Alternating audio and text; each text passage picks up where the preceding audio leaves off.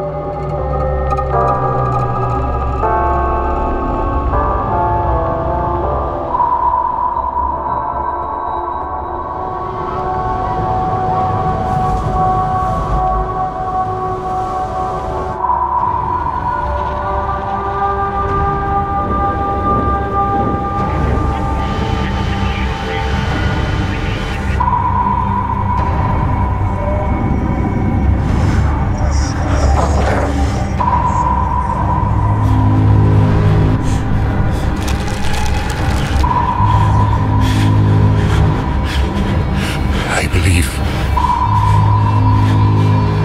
No more can we harbor ourselves on the safest shores, for there are things